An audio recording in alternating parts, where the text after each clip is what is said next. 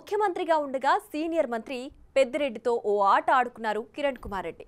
చిత్తూరు జిల్లాలో నల్లారి పెద్దిరెడ్డి ఫ్యామిలీల మధ్య ఉన్న ఆధిపత్య పోరు అప్పట్లో స్పష్టంగా బహిర్గతమైంది. సీఎంగా రాష్ట్ర విభజనను తీవ్రంగా వ్యతిరేకించిన కిరణ్ జై సమైఖ్యాంధ్ర పేరుతో పార్టీ పెట్టి ఎన్నికల బరిలోకి దిగిన బోణి కొట్టలేకపోయారు. దీంతో చాలా కాలం పొలిటికల్ స్క్రీన్పై ఫేడౌట్ అయ్యారు. అలాంటి సీనియర్ ఇప్పుడు బీజేపీ అభ్యర్థిగా రాజంపేట లోక్సభ సెగ్మెంట్లో పోటీకి దిగారు. వైసీపీ మంత్రి పెద్దిరెడ్డిని టార్గెట్ చేసుకునే కిరణ్ రాజంపేట స్థానాన్ని ఏరుకోరి సెలెక్ట్ చేసుకున్నారట.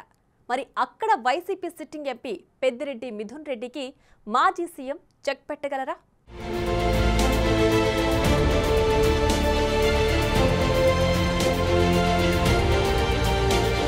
ఉమ్మడి చిత్తూరు జిల్లా రాజకీయాలను ప్రభావితం చేయగల ఫ్యామిలీల్లో నల్లారి కుటుంబం ఒకటి Nallari Amarnath Reddy Congress senior leader. Indira కుటుంబంతో సన్నిహిత సంబంధాలున్న వ్యక్తి. పివి నరసింహారావు కేబినెట్లో కేంద్ర మంత్రిగా పనిచేశారు.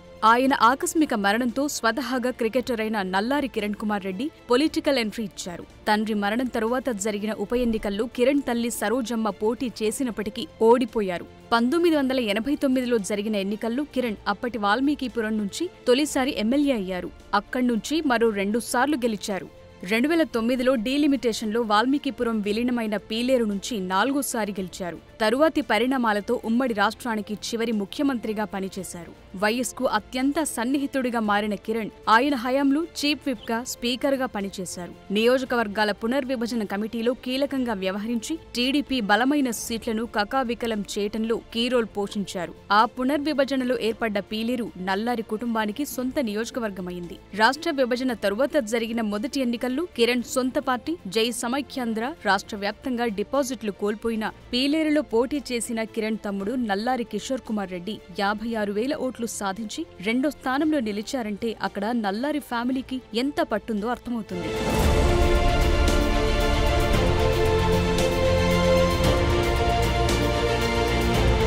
గత ఎన్నికల్లో పీలేరు టీడీపీ అభ్యర్థిగా పోటీ చేసిన కిషోర్ కుమార్ రెడ్డి నాలుగు శాతం ఓట్ల తేడాతో పరాజయం పాలయ్యారు. పీలేరు రాజంపేట లోక్సభ నియోజకవర్గం పరిధిలోకే వస్తుంది. ప్రస్తుతం పీలేరు వైసీపీ ఎమ్మెల్యే పెద్దిరెడ్డి ముఖ్య అనుచరుడు చింతల రామచంద్రారెడ్డిని ఈసారి ఓడించి అసెంబ్లీలో అడుగుపెట్టాలన్న పట్టుదలతో ఉన్నారు కిషోర్ రెడ్డి.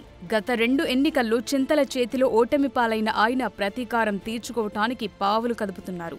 ఇక నియోజకవర్గాల పునర్విభజనకు ముందు అప్పటి పీలేరు ఎమ్మెల్యేగా పనిచేసిన పెద్దారెడ్డి రామచంద్రారెడ్డి రెండు వేల పద్నాలుగులో పుంగనూరుకు షిఫ్ట్ అయ్యారు. జిల్లా రాజకీయాల్లో నల్లారి కుటుంబం హవా తగ్గటంతో మంత్రిగా పెద్దిరెడ్డి ఒక రేంజ్లో చక్రం తిప్పుతున్నారు. ఉమ్మడి రాష్ట్రంలో వైఎస్ రోషయ్య మంత్రివర్గాల్లో అటవీశాఖ మంత్రిగా పనిచేసిన పెద్దిరెడ్డికి కిరణ్ తన కేబినెట్లో బెర్త లేకుండా చేశారంటే వారి మధ్య ఎంత గ్యాప్ ఉందో అర్థం చేసుకోవచ్చు. అంతేకాదు అప్పట్లో పెద్దిరెడ్డి కాంట్రాక్టు పనులకు సంబంధించి కూడా కిరణ్ అడ్డంకులు సృష్టించారంటున్నారు. రెండు వేల పద్నాలుగు ఎన్నికల్లో పోటీకి దూరంగా ఉన్న కిరణ్ కుమార్ రెడ్డి తర్వాత కాంగ్రెస్లో చేరినప్పటికీ యాక్టివ్ పాలిటిక్స్కు దూరంగా ఉండిపోయారు. చిత్తూరు జిల్లాకు దూరంగా హైదరాబాద్లోనే గడిపేశారు. కాంగ్రెస్ పార్టీలో చేరినా అక్కడ ఏదో ఉన్నామా అంటే ఉన్నామనిపించారంతే.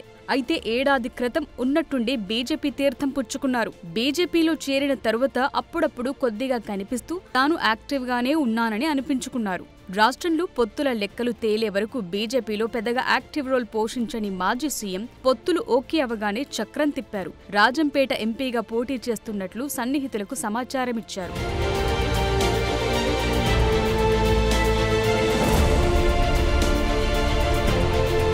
రాజంపేట పార్లమెంటు నుంచి వరుసగా రెండుసార్లు పెద్దిరెడ్డి రామచంద్రారెడ్డి కుమారుడు మిథున్ రెడ్డి విజయం సాధించారు. మొదటిసారి బీజేపీ నుంచి పోటీ చేసిన పురంధేశ్వరిపై గెలుపొందారు.